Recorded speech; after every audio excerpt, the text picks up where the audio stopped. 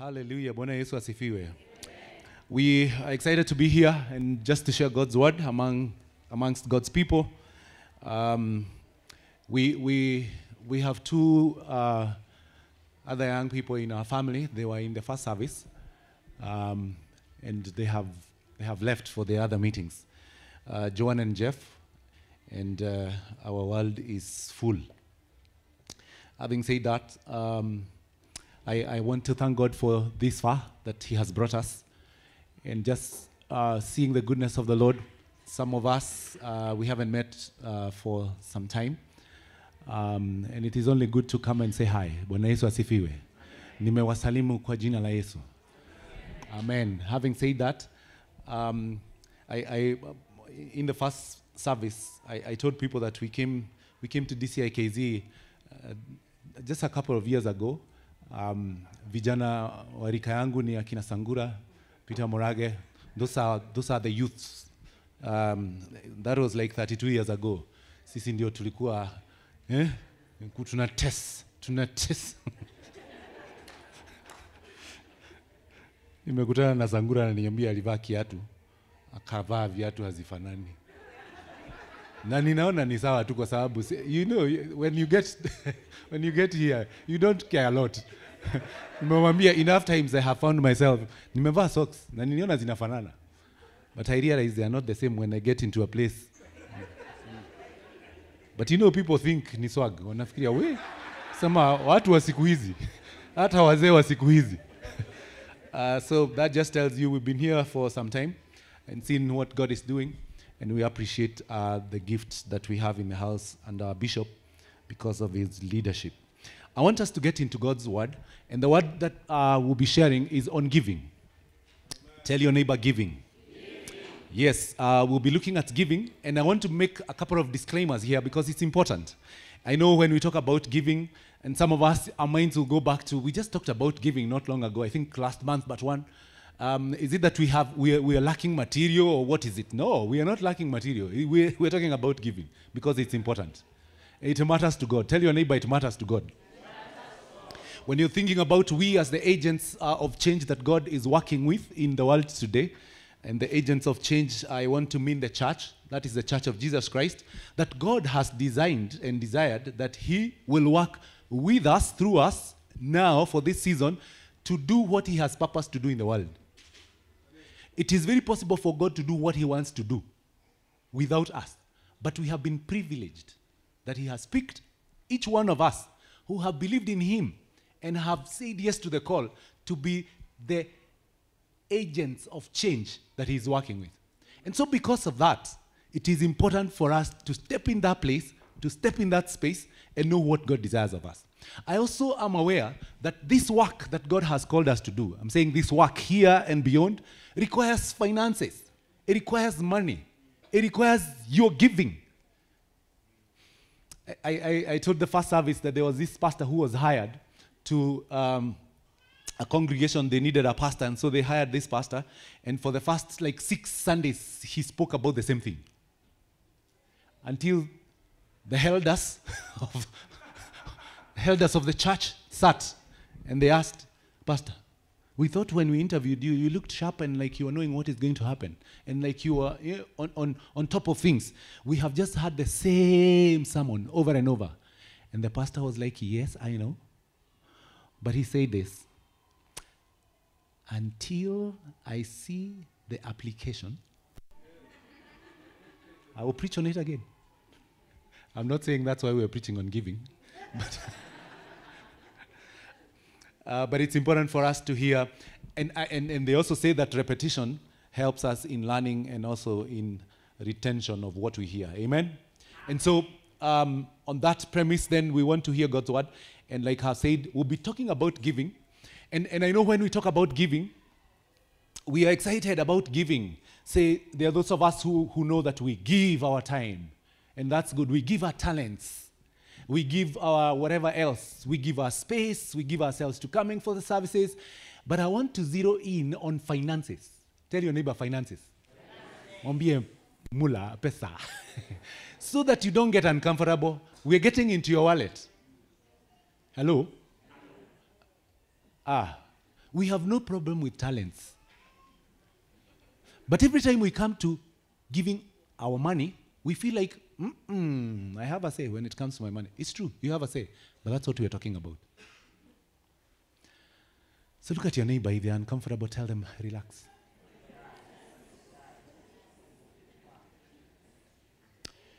We're talking about finances. We're talking about, and finances is huge. We're talking about money, your giving, your tithes and offerings and other givings, the gifts that you bring into the house of the Lord, because it's important and it matters to God. I know uh, in Scripture we have several occasions where we see giving happening, and uh, we, we, we may not have time to enumerate all those instances when people gave. And it was recorded in Scripture. There was a woman who gave two mites, and it was recorded. There was, there was, uh, there was this guy who gave his tomb. He was called who? Joseph of Arimathea. Unajua watu ambao wanajua kujipanga. Sini Joseph. You are alive, but you have created your tomb. It is somewhere. You're waiting for a time to die, and then you'll be buried in that tomb. He gave it to Jesus when Jesus died. I'm sure he must have been thinking now, where do I now, um, yeah, do another tomb? He realized he, Jesus didn't need it for long because he was going to resurrect. So he got back his tomb, hopefully.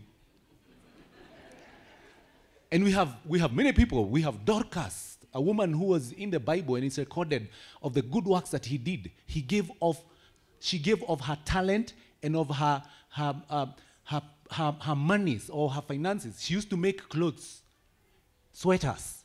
And when she died, people cried a lot. I don't know whether people are going to cry when we die. Say, or they'll be saying good riddance. Hmm? You occupy space for nothing. So we're talking about giving of your substances, and we are doing this because, like I've said, it's important. The Bible, the Word of God, that is our compass, that is what invites us into the life that we do and how we need to do it, talks about giving. It actually admonishes us to give. And we're just going to cite a few examples of where the Bible admonishes us to give, and then we'll look at the benefits, hopefully, of, of giving, and then we'll be done. Now, when you talk about admonishing, when, you, when, when, you, when you're talking about the Bible admonishing you and me to give, the idea we have here is of, you know, placing an idea in your mind. The Bible encourages you to think about giving. The Bible encourages me to think about giving. It admonishes you. It counsels you, if you want, in other words, to give. It, it directs you, it instructs you to give. Now, when, when an idea is lodged in your mind, I want to tell you for a fact that you will think about it, you will consider, you will analyze, and hopefully you might want to do what you're informed by that idea. And so when the scriptures admonish, it simply says that it lifts that commitment in scripture, places in your mind so that you keep thinking about it because it's important. So we'll look at five admonitions on giving in scripture, and then we will be done. The first one that we all know comes from the book of Malachi, and Malachi is uh, chapter number 3 and verse number 10. And I know we've talked about this over and over. Scriptures admonish us, encourage us. Actually, it is like we are being, it prefers that we do it. In the book of Malachi, chapter number 3 and verse number 10, this is what scripture says. If you give it, uh, give it to us in NIV, it says, verse number 10, Malachi chapter 3, verse number 10, that is 12. It says, Bring the whole tithe into the storehouse, that there may be food in my house. Test me in this, says the Lord Almighty, and see if I will not throw open the floodgates of heaven and pour out so much blessing that you will not have room enough for it. It says in verse number 11, I'll, pre- I'll, I'll prevent pests from devouring your crops, and the vines in your fields will not cast their fruit, says the Lord Almighty. Says in verse number 12, then all the nations will call you blessed. For yours will be a delightful land, says the Lord Almighty. This is what scripture says. It says, bring the tithe into the storehouse. It doesn't suggest And you know, when we're looking at paying your tithe, there are a lot of other things that we pay for, isn't it? We pay for bills. When you're paying bills, do you say, I'm giving for the bill? So my, I, I think I want to give for my power bills. When you're paying your income tax, do you give for your income tax? Do you, do you give for your hospital bill? but when we come to paying the tithe, we start negotiating. Every time we get to paying, because it's a requirement, scripture says, pay, pay your tithe. But every time we get there, we don't, we don't negotiate about income tax, we don't negotiate about when you get into the matatu. You pay what is required, isn't it? When you go into a hotel, you pay. you, you don't start discussing. Ah, hiyo ugali yenu ni kama vile ilikuwa ya unga ya na mimi nakulanga. Nah, you pay. Scripture admonishes us, encourages us, counsels us. It says like, I counsel you, I advise you, pay your tithe. Hello? I know I will not hear a lot of amens, but I will say it anyway. it says, pay your tithes. And, and, and even before I leave there, let me ask this, because you know, many times we argue about tithes. And we argue for those that have gone to school is tithe of the Old Testament or of the New Testament. Then you post like, yeah, Nijibu. I, I don't know what your take would be. But even before we had the law, we see Abraham giving a tithe to Melchizedek, king of Salem. And the person who gave a tithe, scripture would later come and say he is the father of faith. And so I want to suggest that giving of our tithes or paying our tithes is a faith thing, not a law thing. Now, faith is for the believers.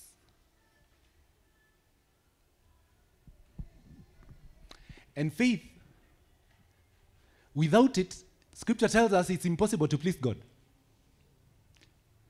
And so I know you'll have a problem paying your tithe if you have no faith. In other words, you're saying, when we come into those arguments, and, and you know we stretch it even further, is it gross or on net? But you know, this one gave to this one. We are giving to church. You know, all those discussions? I'm sorry to say they're about faith. It's not even about money, it's about faith. Faith. Tell your neighbor, faith. Yes, it's about faith. Let me even bring it this way. The Old Testament. Do you know the God of the Old Testament? He is the God of the New Testament. Jehovah Ra. Jehovah G. Jehovah Sidke. Jehovah Elsha. Jehovah Elo. And those are the Jehovahs. These names were given to God by the people of old because he appeared to them in all these ways. I, I don't know why we still use Jehovah Nisi today, yet it is of the Old Testament. So, why would we have double speak that we want Jehovah Rapha who fights? We want Jehovah Jireh who provides. We want Je- but when we come to Jehovah who demands that we give our tithe, then we have a discussion. Ah, tell your neighbor, have faith. Tell your neighbor, it's of faith. And scripture admonishes us to pay our tithes. The second admonition that we get from scripture is that we will not just pay our tithes, but scripture presupposes that we are able to pay our tithes and give offerings.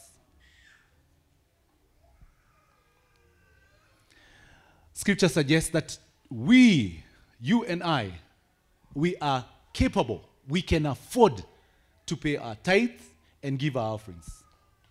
Let me, let me tell you why we don't give. Now, what kind of a speaker says why we don't give? I should be looking for reasons why we should give, isn't it? But let me just tell you why we don't give.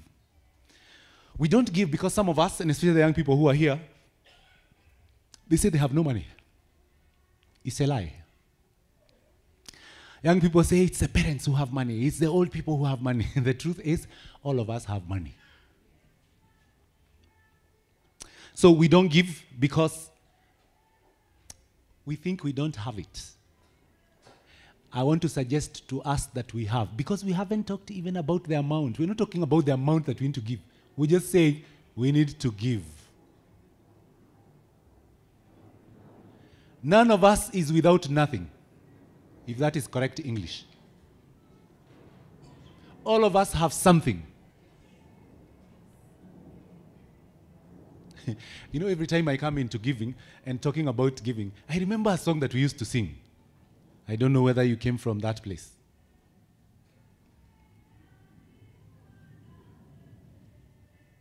Neke we nakyo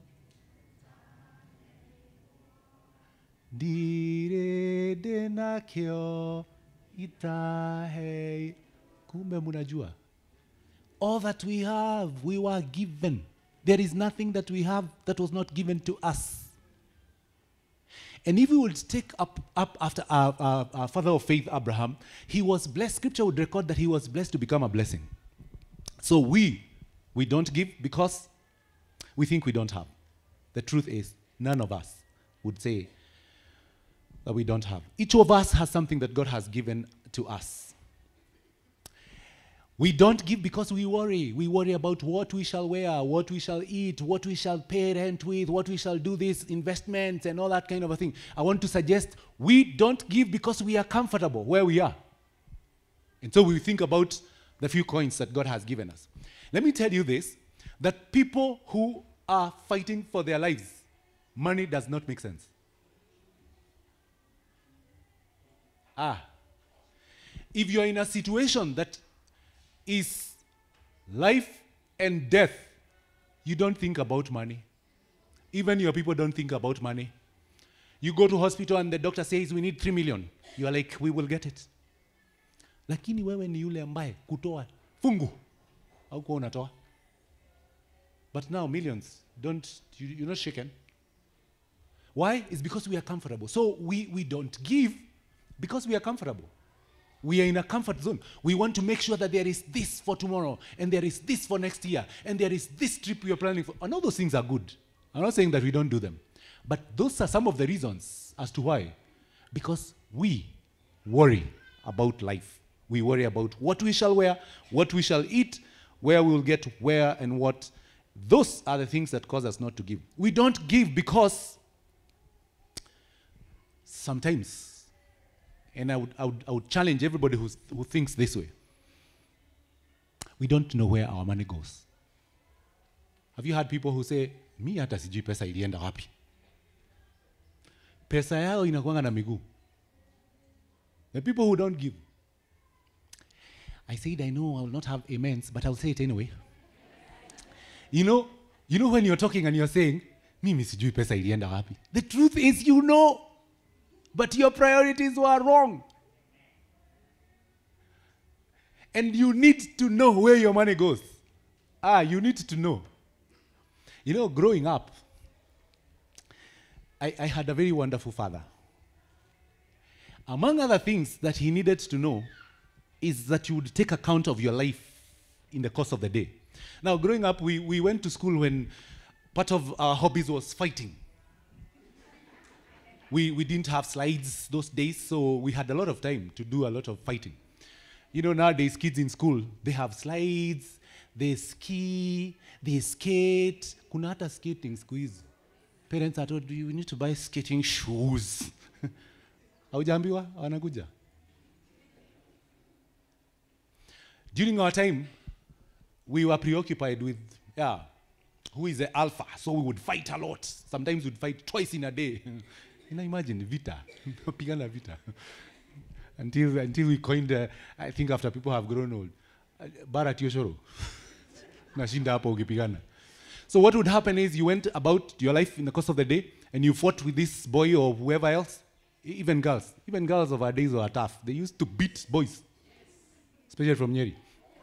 So you would go home, you would go home, and then because of your engagements along the way, either you had a cut somewhere or you were swollen somewhere, and, and, and then your, your, your father asked, What happened to you? no, Peter is laughing because he knows some of those things. Then you're asking, What happened where? Then he tells you, You don't know that you have, a, there's something, you, you, are, you, are swol- you have a cut, and you're like, Oh. Because you know that was part of life. And then you would recount. You're thinking, where might this have happened? Is it the first one or the second one? If you didn't know, that would warrant a beating. In other words, he was saying, you need to know what happens in your life. Please believe us when you say you don't know where your money goes. Ah, what you're telling God to do is to discipline you. You need to know where your money goes. One of the ways to know where your money goes today, look at your M-Pesa. And you will know where your money goes. In the book of Luke, chapter number 12, verse 22 to um, 34, and this, this is a sermon that Jesus preaches, um, almost equivalent to the Sermon on the Mount.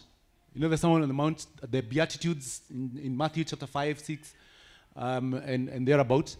And part of what Jesus says um, in, in Luke um, chapter number 12, verse 22 to 34, and we'll just pick a few things from there, so that you and I need to get to a place to know that Scripture admonishes us not just to give, to pay our tithes, but also give our offerings, because we are capable of doing that. We can afford to do that. It says in verse number 22 Then Jesus said to his disciples, Therefore, I tell you, do not worry about your life. And I know I'm talking to people who worry about life, and especially the ages that are here. We worry about life. We worry about our kids, isn't it? We worry about when am I going to do this and the other. Like, I'm also thinking, when am I going to build? you know, we worry. We worry about life. And you might at some point want to think, wow, this worry is legitimate. It is valid. If you worry about life, and if you read this portion of scripture, towards the end, it says the people who worry about these things, and they are enumerated there. Scripture says they are pagans. Pagans are people who don't believe in God. So it says in verse number 23 um, life is more than food, and the body more than clothes. Consider the ravens. They do not sow or reap, they have no storeroom or barn, yet God feeds them. And he continues on and on. And I, I want to encourage you to read up to verse number 34 so that we are saving on time. So we worry. We worry about life. We worry for, for, for what we're going to eat. And scripture is encouraging us that uh, life is more than food. We, we, we need not to worry about these things. It says, Look at the birds of the air. They do not sow or reap. It says, Look at how they are clothed by God. It continues to say, The flowers in the field, they do not, they do not do all the things that we do. They do not spin, they do not. Yet, it compares that with Solomon, that Solomon himself, in his highest of splendor, was not like any one of those flowers, one of those lilies. It is God who clothes them. It is God. There is no amount of care that will cause you to add a cubit to your life. So you might as well stop wasting your, your worry. So do not be afraid. It says, verse number 32. It says, Do not be afraid, little flock, for your father has been pleased to give you the kingdom, not just the things that you would want to be worried about, not just about your kids and where they're going to go to school, what they're going to wear. God wants to give you the kingdom. God wants to give you much more than that. God wants you to be involved in his affairs. And so he says, verse 33 says, Sell your possessions and give to the poor. As you do that, this scripture says, Provide passes for yourselves that you will not wear out. A treasure in heaven that will not be exhausted, where no thief comes near and no moth destroys. That's the encouragement that we're getting. That we, we, will, we will put our, our treasures in the kingdom of God. We will not worry about these things. We will put our treasures in the kingdom. We treasure many things, God's people. We treasure many things. Seated in this place, we treasure many things. If God would allow us for a moment to look into our minds and what we treasure, or in our hearts, there are some of us who treasure pleasure. yani wewe pleasure, mahali kuna yes, hapo ndio huko. Unasikia msuri. Pesa yako yote kwa msuri. You do all sorts of things for pleasure. So you treasure that pleasure. And so that is where your heart is. We treasure property, some of us. People who come from some, some, some community that I'm not going to mention. They, all their life, they're buying land. Land. So, how much land do you need for yourself and for your children? And your entire life is, ninatafuta kabloti. Ukimaliza hiyo unatafuta ingine. Your life is plot after plot after. Then what? So their treasure is in property. And it is good to have property by the way. ai it is good. Mtu ambaye akona ka property mahali anasikianga vizuri. But let not your treasure be in property. Let your treasure be in God. That will make all the difference. Some of our treasure is for some of us is sports. Kuna watu wako hapa. Saa hii tunanunua. Hmm? Tunanunua mchezaji huyu kwa sababu season eh, tu, ili tufanye hivi. You are here. Ah, watu wa sports. You treasure sports so that you even have an account ya betting and you're in charge. You are looking at me with your two eyes. Wewe ni mtu wa kuwekeza, wewe ni wa kubet.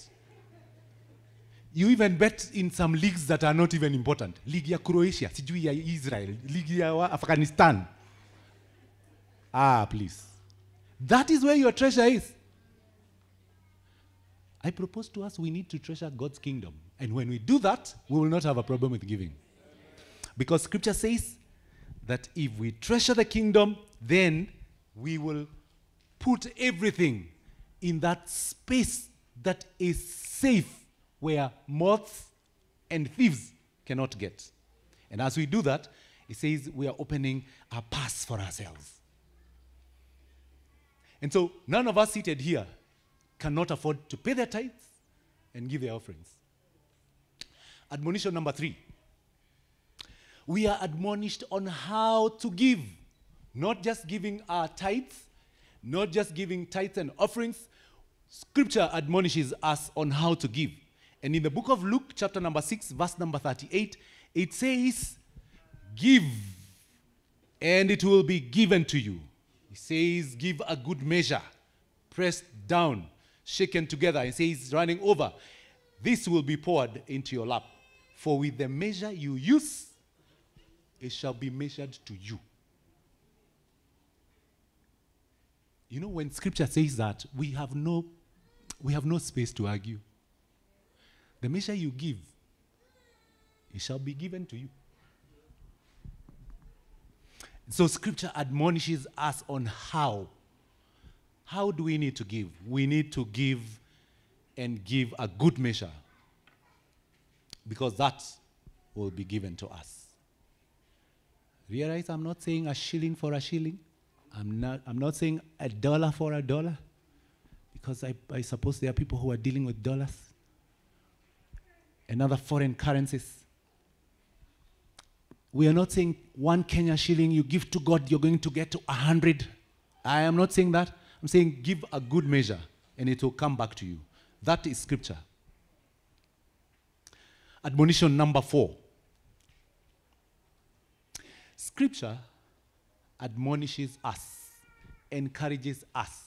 It tells us what kind of givers we ought to be.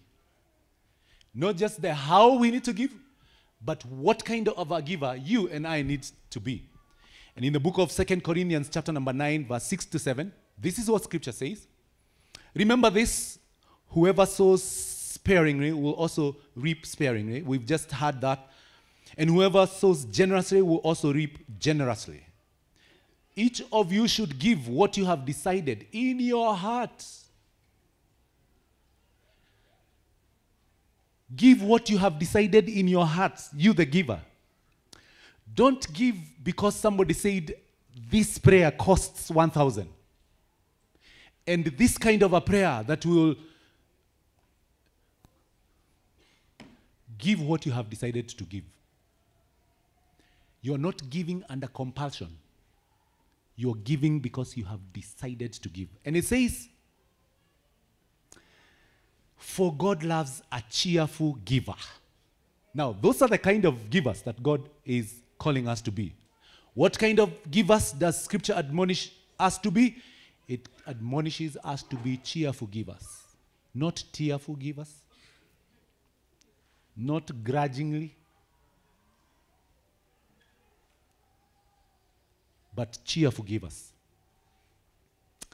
People who rejoice, knowing that this is a worship to the Lord, just like you had energy and strength dancing before the Lord as a way of worship, you also come excited as you're giving to God's work.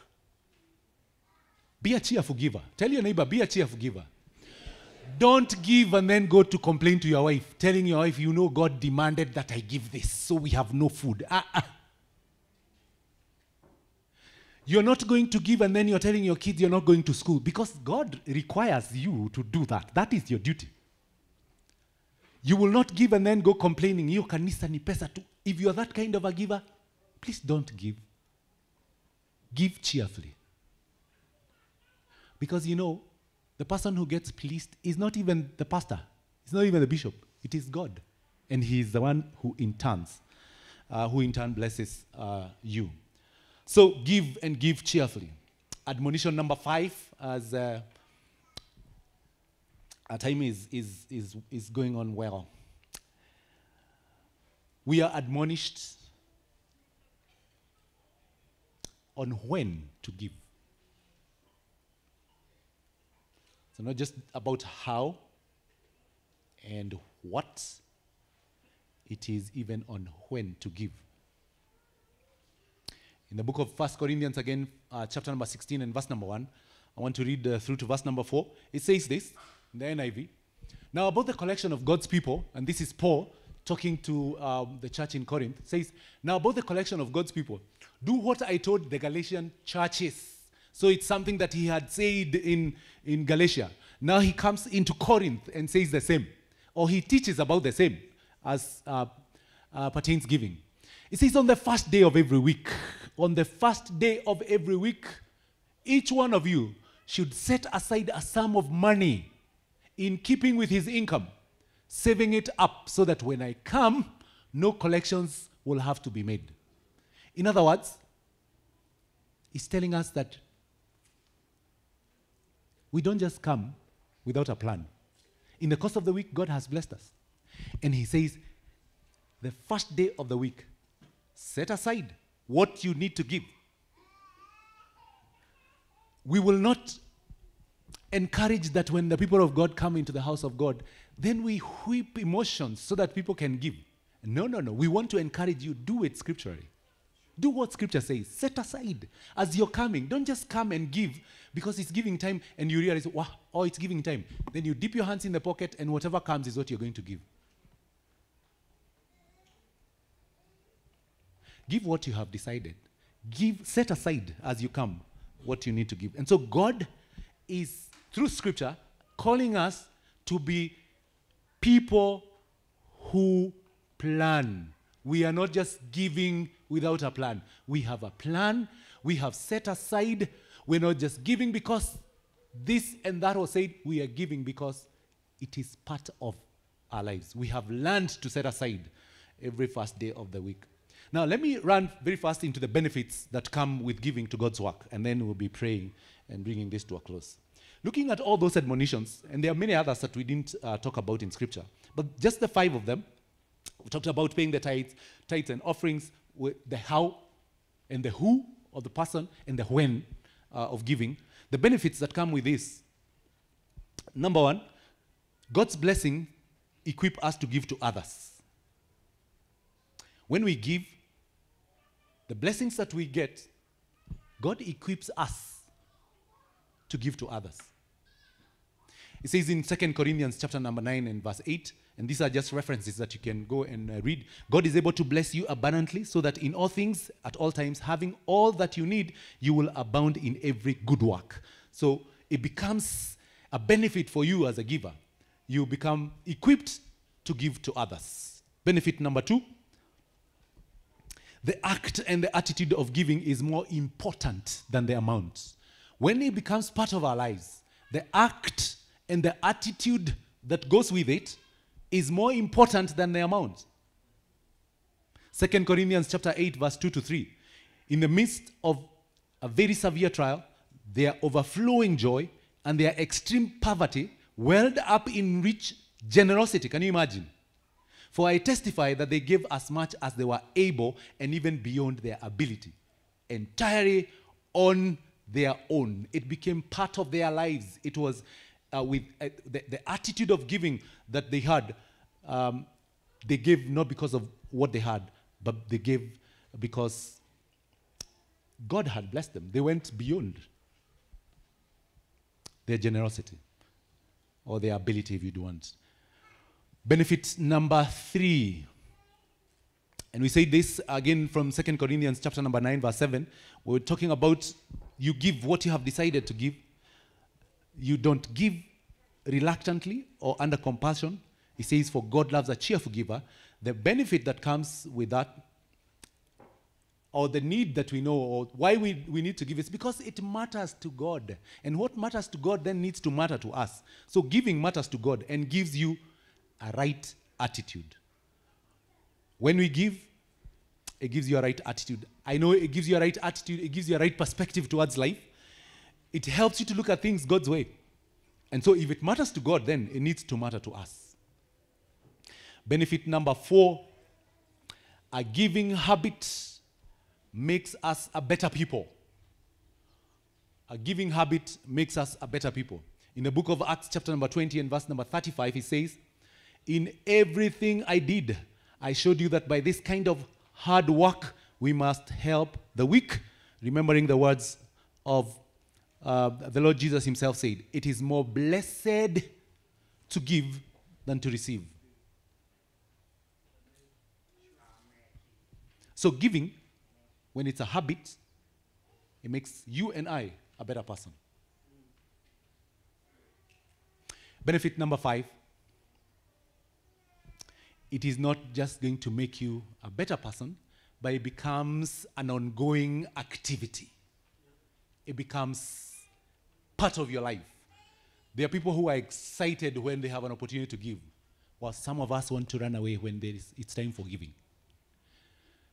Benefit that comes with it is that it, it, it becomes an ongoing thing. It becomes part of your life. It becomes a habit in your life. Second Corinthians again, chapter 8, uh, verse 10 to 11. And here is my judgment. And, and you'd first think that God would talk about judgment and in the same portion talk about giving.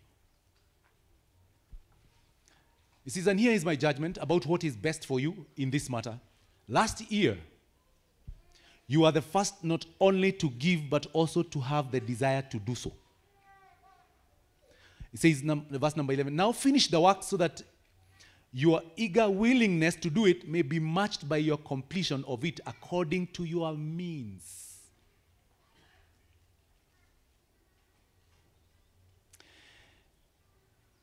God will talk about judgment in the same portion of scripture when he's talking about giving. That there is an eagerness, a willingness to do that good thing, to give even to the completion of whatever it is, according to the means that God has given you. So it becomes an ongoing activity, it becomes your habit, and you are known by your habits. Another reference would be from the book of Galatians, chapter number 6, verse number 9 through to 10. It says, Let us not become weary in doing good. For at the proper time we will reap a harvest if we do not give up. Therefore, as we have opportunity, let us do good to all people, especially to those who belong to the household of faith or the family of believers. God has given us an opportunity to be a blessing to the house of God. to the household of believers, the household of faith. The early church is known to have been a church that gave. One of the characteristics of the early church is that they gave, and scripture records, that amongst them, no one had need. Know we're living in times when people are so capitalistic. You're, you're, you're so self centered. You don't mind about your neighbor. But that is the Kenya today. It is not the church that God wants us to be. The example of the church that God wants us to be is in scriptures, in the book of Acts, that people bore each other's burden. They gave until there was no one who was in need. Today, when it comes to giving, and not just giving in church and for the kingdom, giving even in the group where you belong, where people are coming to serve you. Some of us have a problem. I ask the treasurers who are here. Unasukumwa utoe mia moja ile mlikubaliana, na wewe ni mtu anaamini. We have talked about the people who do not, they are worried about those things. They don't give. It's, the problem is a faith thing, it's a faith problem. It's because they're pagans. They're worried about this, worried about that. And it's because where you are, you are comfortable. People who are in discomfort, don't worry about those things. My prayer for us is that we would rise up and wake up to the opportunity that God has given us. You know, we will be remembered for the good things that we have done. Part of the good things we'll be giving. I want to suggest to us anybody that you have helped along the way, and you didn't help because you had money, you helped because you moved to meet the need, like the early church did. They will never forget. You might forget that you did that, but they will never forget because that's a work of God. It is of faith. You are, you are answering to the work of faith, and that's what we've been called to do.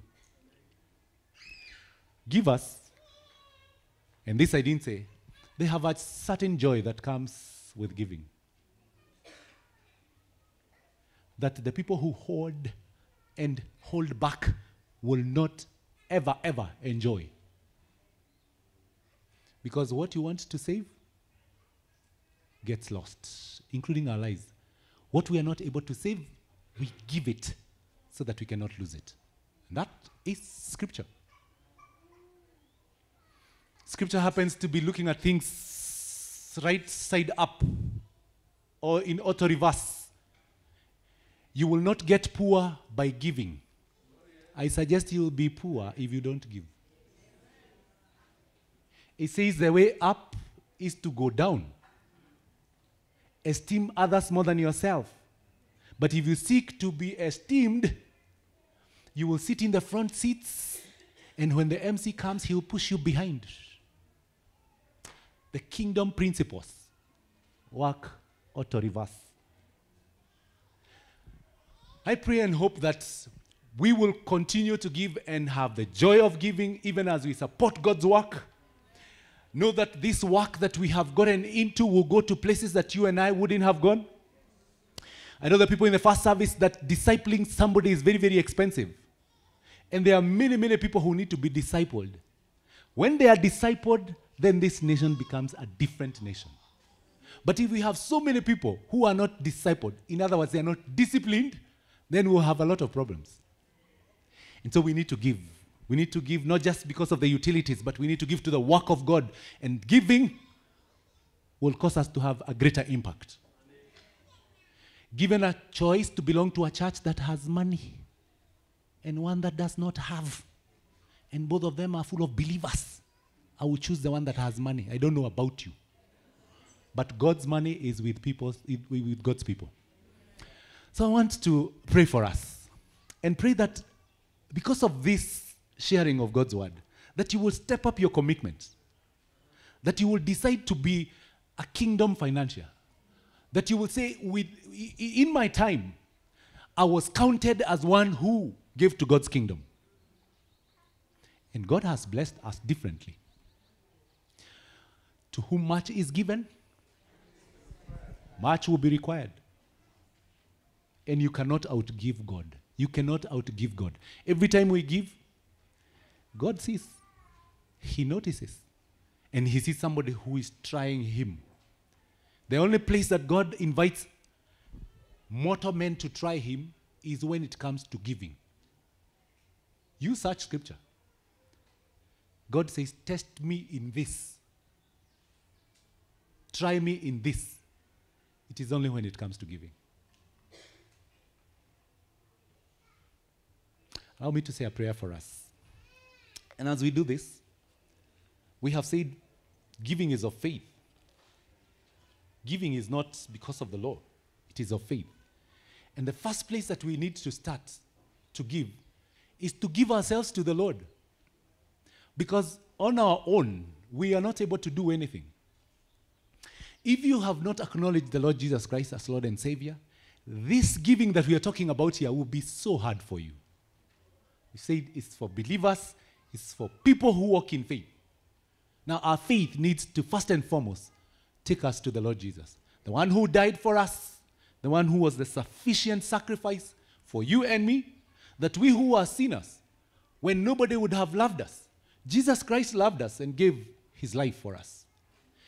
Even if the entire world would have been given, it was not sufficient to save one person. But God gave us the most expensive, the most costly gift that was enough to save us, and that was Jesus Christ, his only Son. So, are you here? You have not given your life to Jesus. You're sitting pretty and you're thinking, oh, this thing of giving, giving. I'm saying we start by giving our lives to the Lord. You are here, you have not given your life to Jesus. This will just be sounding like gibberish, it will just be Greek for you. I want to invite you to come to the Lord, the one who has given his life for you, who loved us before we loved him, loved us when we had no form or shape, when we didn't know a lot of things, and he has allowed us to be co-heirs in God's kingdom. So if you lift up your hand saying, I want to give my life to Jesus, we will pray together, and from this day on, you get into the sheepfold, into the flock of God, and we trust God for what He wants with our lives. Are you there? You want to give your life to Jesus? We do not have a lot of time. You say today, if they gave an opportunity to go to church, when we go to church for somebody who wants to give their life to Jesus, I'll be there. Do not allow the enemy to convince you otherwise. The Lord wants you, the Lord wants to save you. Are you there? You want to give your life to Jesus? I want us to say this prayer, and we are going to say all of us, so that if there be um, one of us seated there and you're afraid of standing up, and if you make this prayer for the very first time in your life, then you know you have been welcomed into God's kingdom. You want to say after me, Lord Jesus, I come to you. I know I'm a sinner who needs to be forgiven. I give my life to you. From this day onwards, I will call you Father. You will call me Son. I ask you to write my name in the book of life. And from this day, I am born again. In Jesus' name.